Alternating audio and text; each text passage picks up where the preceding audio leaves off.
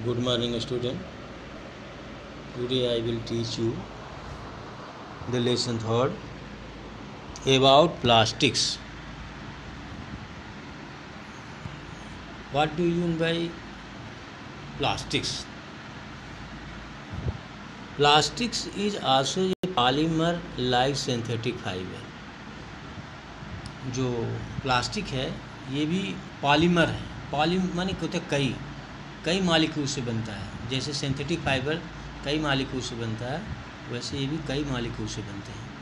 जिस मालिक्यूल से बनते हैं, उसको हम क्या कहते हैं? मोनोमर। मोनोमर मानी इकाई, यूनिट होती है। और कई मोनोमर मिलकर के बनाते हैं पॉलीमर। जैसे आपने पढ़ा रेन नाइलॉन, ये सब सिंथेटिक पॉलिस्टर जैसे सिंथेटिक फाइबर आपने पढ़ा, उसी तरह आप पढ़ेंगे प्लास्टिक। प्लास्टिक्स आसो ठीक है made up of small unit that is called monomer उनको मोनोमेर कहते हैं। And the plastic is also called polymer जो कई मालिकों से बनते हैं, ठीक है? और प्लास्टिक ऐसे होते हैं जिनको इजीली मोल्डेड आसानी से मोड़ सकते हैं ने प्लास्टिक ऐसे होते हैं जो कैन बी रिसाइकल इनको रिसाइकलिंग भी होती है, ठीक है? तो प्लास्टिक जो होते हैं, दो तरह के होते हैं। एक होता है थर्मोप्लास्टिक ठीक है? एक थर्मोप्लास्टिक ठीक है?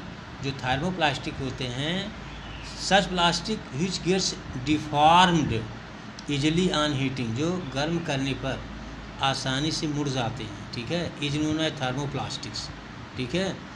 Polythene and PVC are the example of thermoplastic तो थर्मोप्लास्टिक जो होते हैं, वो गर्म करने पर जो होते हैं इजली मुड़ जाते हैं, जैसे पॉलीथीन एंड पीवीसी दूसरा जो होता है थर्मोसेटिक प्लास्टिक थर्मोसेटिंग प्लास्टिक जो होते हैं, ये after heating they do not mould ये मुड़ते नहीं हैं।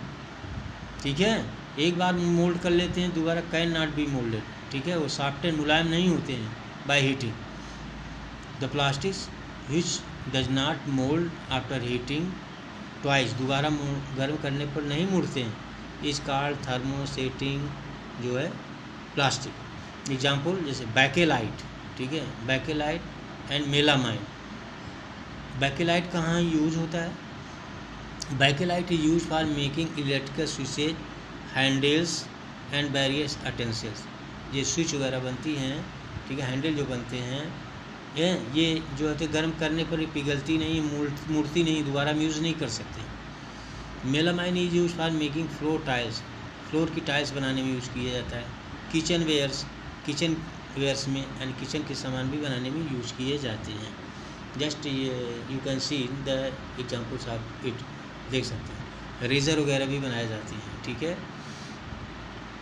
जो waste created by synthetic fibres and plastic is not environmental और इको फ्रेंडली हमारे जो इको सिस्टम के लिए जो होते हैं इन्वायरमेंट के लिए फ्रेंडली नहीं होते हैं मतलब यूज़फुल नहीं होते हैं, ठीक है? On burning they create poisonous gas अगर इनको जलाते हैं तो हार्मफुल गैसेज निकलती हैं। और on dumping in the ground they may take years of degenerate degenerate में टूटने पर। टूटने के लिए इनको काफ़ी लंबा समय लगता है।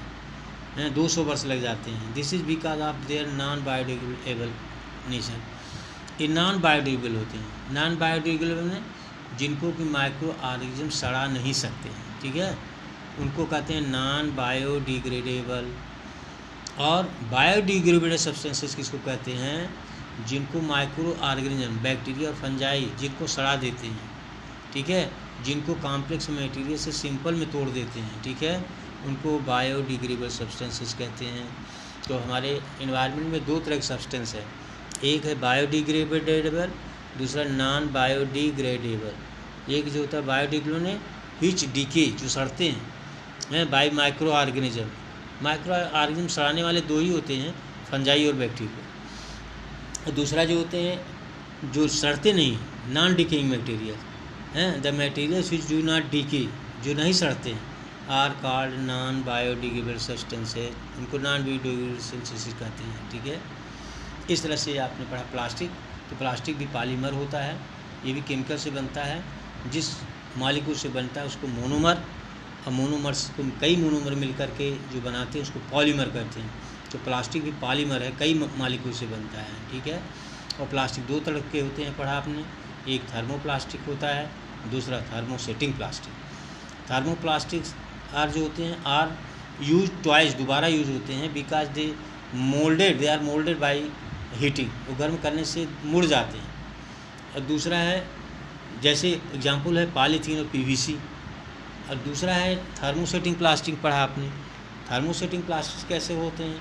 दे डू नॉट फोल्ड ये मुड़ते नहीं आफ्टर हीटिंग ट्वाइस दोबारा गर्म करने पर मुड़ते नहीं। हैं? और इनको जो जलाना भी जो है हार्मफुल गैस निकालते हैं। ठीक है? प्लास्टिक और ये मोल्ड मोल्ड भी नहीं होते हैं। जैसे बैकेलाइट आपको एग्जांपल में बताया मेलामाइन और बैकेलाइट और दूसरा आता है पेट्रोकेमिकल्स ठीक है? What do you by petrochemicals ठीक है? All the synthetic fibres are prepared by a number of processes using raw material of petroleum origin जो पेट्रोलियम जो पेट्रोलियम पदार्थों से बनाए जाते हैं are called petrochemicals the material which are formed by using raw material जो कच्चा सामान यूज़ करते हैं, कहाँ से? पेट्रोलियम ओरिजिन जिनकी ओरिजिन मैंने उत्पत्ति। जिनकी उत्पत्ति पेट्रोलियम पदार्थों से होती है आर कॉल्ड पेट्रोकेमिकल्स। उनको पेट्रोकेमिकल्स कहा जाता है जो पेट्रोलियम पदार्थों से बनाए जाते हैं, उनको पेट्रोकेमिकल्स कहते हैं। तो all the synthetic fibres are prepared by number of process by using raw material from petroleum origin तो इसीलिए जो सिंथेटिक फाइबर होते हैं, उसको पेट्रोकेमिकल्स भी कहा जाता है। ठीक?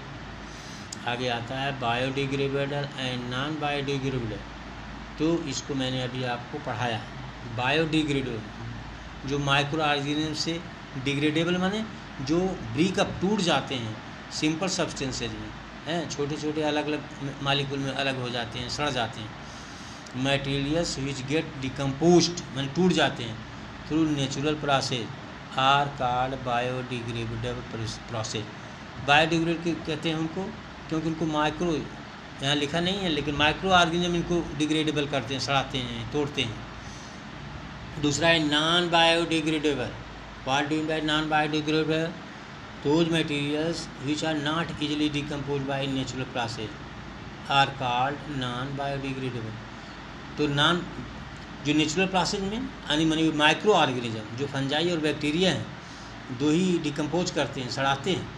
तो ये बायो नेचुरल जो होते हैं डिकम्पोज नहीं होते हैं। इसीलिए इनको नॉन बायोडिग्रेडेबल सब्सटेंसेस कहते हैं। ठीक? तो I will teach you next day after this thank you student